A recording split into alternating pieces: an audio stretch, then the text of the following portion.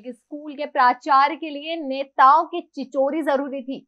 यानी नेताजी का स्वागत सत्कार ज़रूरी था। तो प्राचार्य ने चलती क्लास रुकवा दी और बच्चों को उठाकर लगा दिया नेताजी के स्वागत में। ये बच्चियाँ अपने एनुअल एग्ज़ाम की तैयारी कर रही थी, लेकिन प्रभारी प्राचार्य ने उन्हें बीच से ही उठाकर मंत्री का स्वागत करने के लिए ले गए। मामला सत्ता के सरकारी स्कूल ओवरा आमर पाटन का है, जहाँ पर राज्य मंत्री मंत्री राम खिलावन पटेल का दौरा था। राज्य मंत्री के स्वागत के लिए स्कूल स्टाफ ने नौवीं की छात्राओं को चुना और उनसे राज्य मंत्री के स्वागत के लिए गीत गवाए। लेकिन विवाद उनसे गीत गवाने पर नहीं, बल्कि उनकी पढ़ाई डिस्टर्ब करने पर हुआ।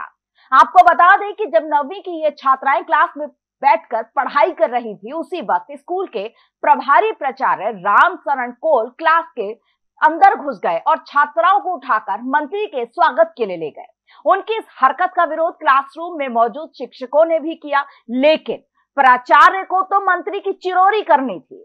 वो कहा किसी की सुनने वाले थे? आपको बता दें कि नौवीं की क्लास के एनुअल एग्ज़ाम 19 मार्च से हैं। इसी वजह से छात्र छात्राएँ अपना पूरा ध्यान स्कूल में पढ़ने में लगा रही हैं। लेकिन ऐसे में बीच क्लास से छात्राओं को उठा कर ले जाने वाले प्रचार ने ये ज़रूर बता दिया कि ये बच्चों के भविष्य को लेकर कितने गंभीर हैं। वो खबरें जो आपके काम की है वो खबरें जो आपके लिए ज़रूरी है। हर आम और खास से जुड़े मसले। हर मसले का सटीक विश्लेषण। हम करते हैं सत्य का अन्वेषण।